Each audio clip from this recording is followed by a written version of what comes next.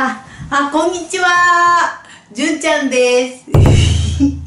どうも、こんにちは。あの、本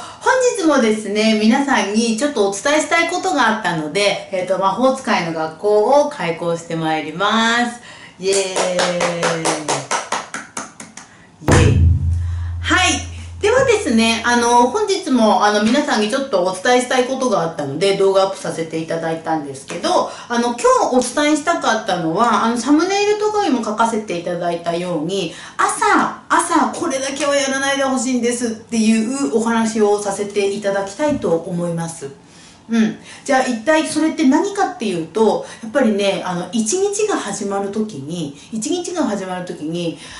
ああ今日こんなんなっちゃったらどうしようみたいなそういうねちょっと意識に入るのをやめてもらいたいってお話なんですよ。うんうん、えっとねこれ一体何をね持ってそのお話をしようと思ったかというとあの実はその最近ねこのなんださまざまなそのメッセージを出してくださる方々の中でちょっと気になったのがあの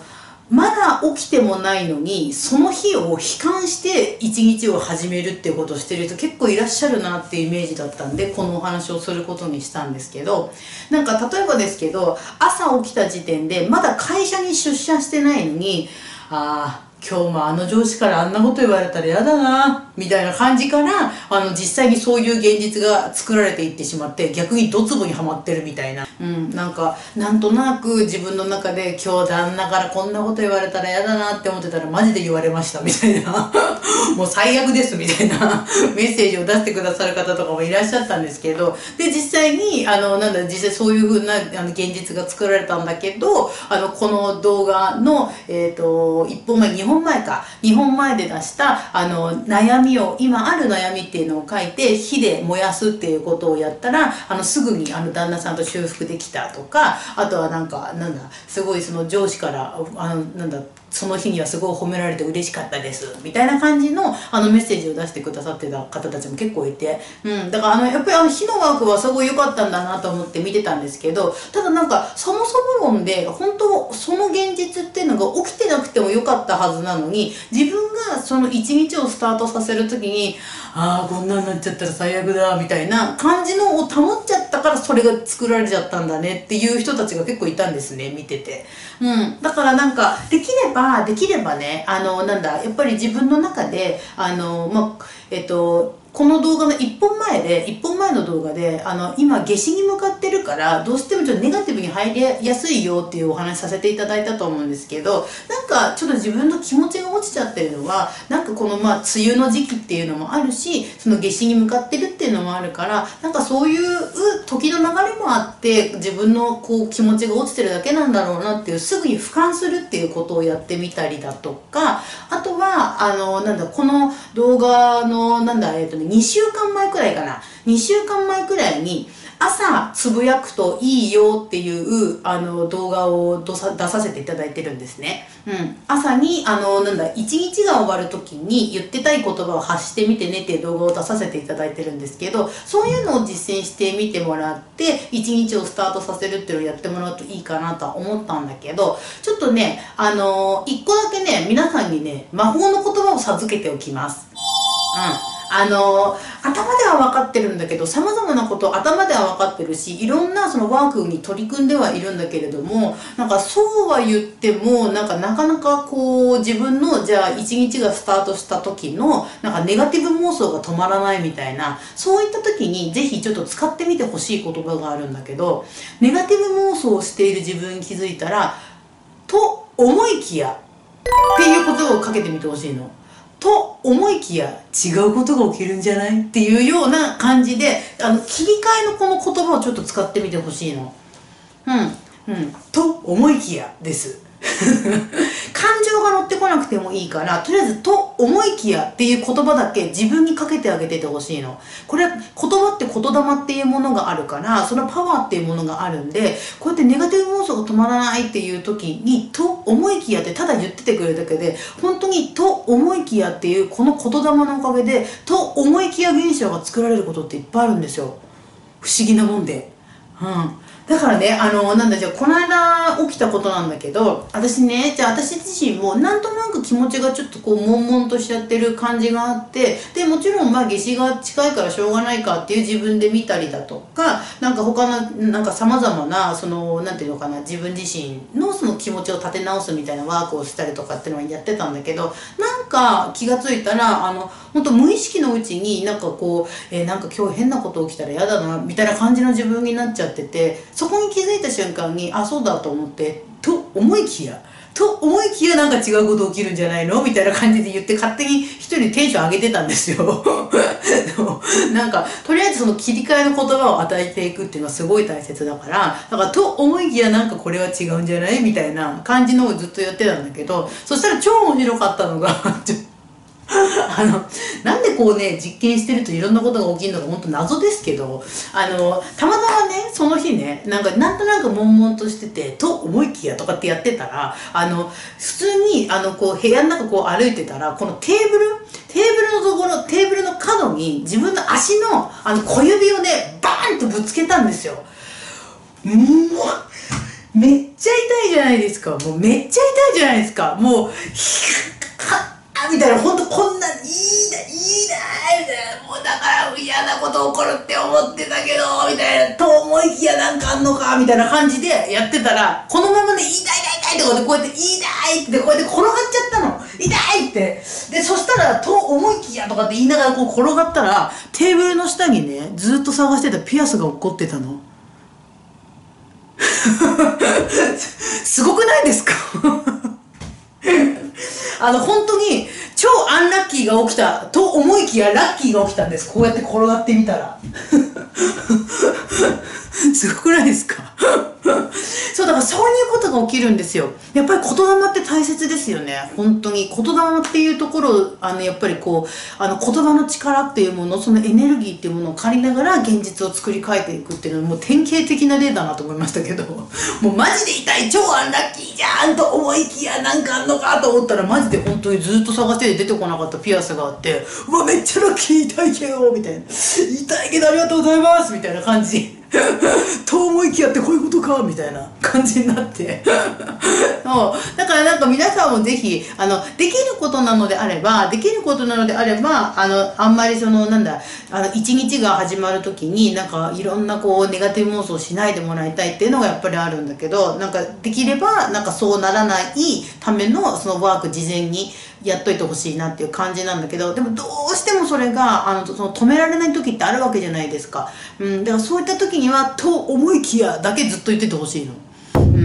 そうするとなんか本当と思いきやっていう方のそのこの言葉のエネルギーでなんかテンション上がり始める自分がいたりだとか本当に何かが起きた時にと思いきやなんか意味があるんじゃないのかみたいな感じで突然視点高く視野広くその現象を見れたりとかするんですけどその波動域に自分が入っているとやっぱりと思いきや現象がパンと作られるんですよね。俯瞰するとかもやってもらいたいんですけどでもそれがうまくいかない時には「と思いきや」っていうその言葉を使ってみるっていうのはね是非皆さんは知っておいてください。うんじゃあまあそんな感じで今日ねお伝えしたいのは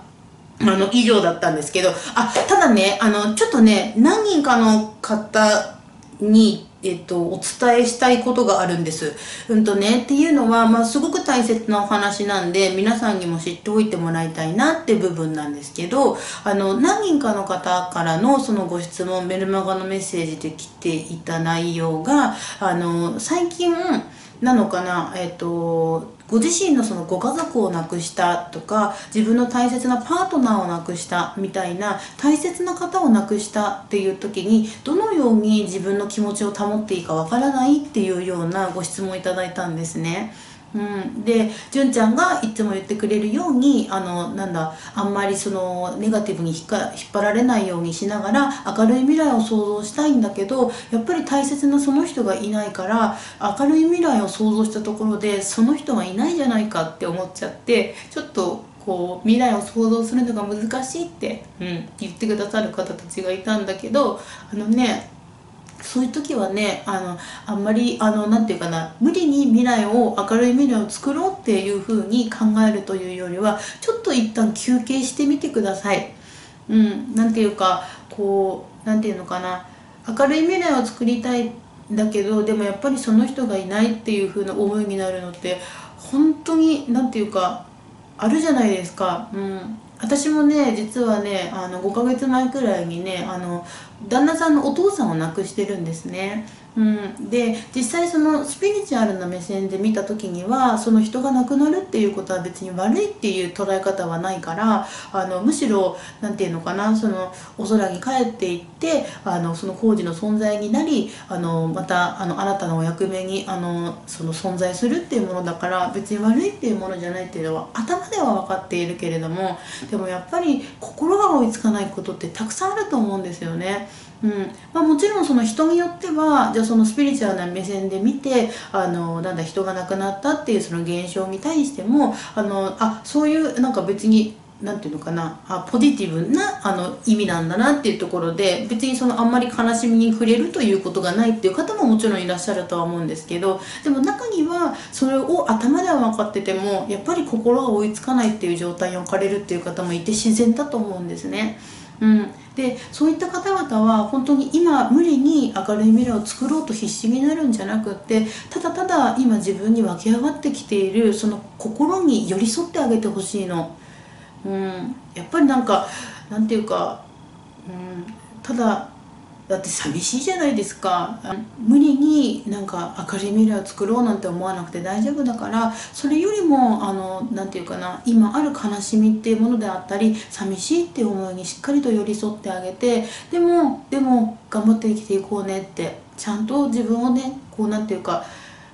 何て言うかな励ましてあげてほしいというかその亡くなった方がもしも今の自分にかけてくれる言葉ってあるあるとしたらどんな言葉かなっていうことを想像しながらその言葉を自分で自分にかけてあげるっていうことを是非覚えておいてください。うん、無理はしないことです。絶対に、うん、だってやっぱり私も寂しかったもん。そのなんだろう旦那さんのお父さん亡くなった時すごくよくしてくれたんでね、うん、あなんていうかそのそうですね。なんか自分のその気持ちがちょっとずつ落ち着いてきた時になんかまたこういう宇宙理論を実践してみようかなっていう意識が入ってきた時にあのそうこういうその理論を実践してみるっていうところでいいと思うからとにかく無理せず今は自分自身の心としっかりとこう対話をしてあげながら今日という日をいかに穏やかに過ごせるかっていうところが大切になってくるから、うん、あのなていうか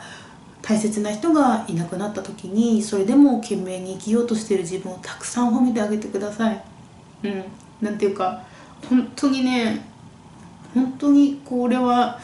なんか大切な人がこういなくなったという経験をした人にしかわからないそのご本人にしかわからないやっぱりその苦しさってたくさんあると思うからそれでも前を向いて生きてみようとしている自分をたくさん褒めてあげてあんまりその無理になんか明るい未来作ろうなんてできまないこと。うんもうとにかく今日懸命に生きている自分をたくさん褒めてあげてくださいそれだけで大丈夫。ちょっとねそれだけあのみんなにもちょっとお伝えしておきたかったんで、えっと、このお話をさせていただきました。うんうん